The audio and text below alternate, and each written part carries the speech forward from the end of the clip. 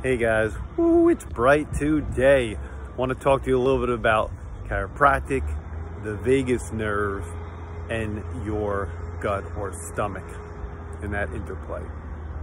So many of you are familiar with the vagus nerve because I've talked about it many times in the past, but the vagus nerve is this huge long nerve that exits out, out of your skull as the 10th cranial nerve and goes to about every single organ in your body, a massive communication system.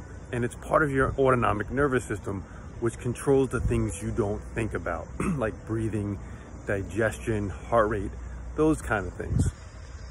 More recently, it's been shown, the vagus nerve, to be a super highway of communication between your gut and your brain. Now, chiropractically, we've known by stimulating or quieting the vagus nerve uh, that has profound effects on your health and wellness through the chiropractic adjustment. But this new information sheds light on how important the gut-brain communication is.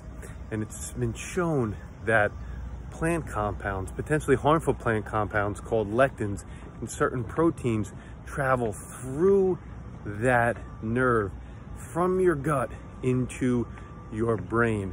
And these are those proteins that have impacts that create those plaques uh, in Parkinson's and Alzheimer's. So this just shows uh, how important the gut-brain axis is. It shows uh, that interplay between all the systems of your body and how the nervous system controls and coordinates that. And it shows how important uh, what you eat can impact your chiropractic health, wellness, and your overall lifestyle. Uh, so the two takeaways, number one, make sure you and your family are getting your chiropractic adjustments on a regular basis to make sure there's no pressure on that nerve.